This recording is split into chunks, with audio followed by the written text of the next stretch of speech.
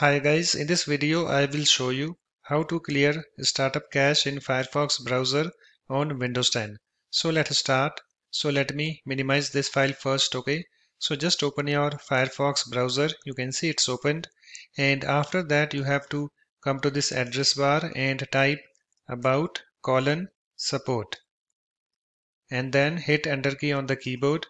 And I have this troubleshooting information. This is screen opened and you can also come to this screen by using another method. So let me show you.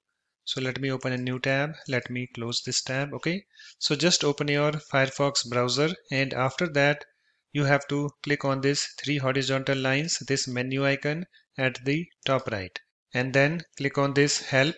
And then click on this more troubleshooting information. And you can see I have this troubleshooting information. This screen opened so to clear startup cache in Firefox browser, you have to come to this troubleshooting information, this screen, and after that you have to come to this uh, section, try clearing the startup cache. And in this section you can see here we have this button, clear startup cache. So just click on this button, let me click on it, and I have this pop-up, restart Firefox to clear startup cache. This will not change your settings or remove extensions. So just click on this restart this button. So let me click on it.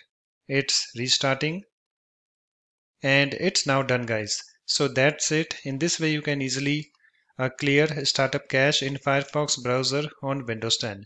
If you like my videos, please support this channel by subscribing to it. Thanks. Bye bye.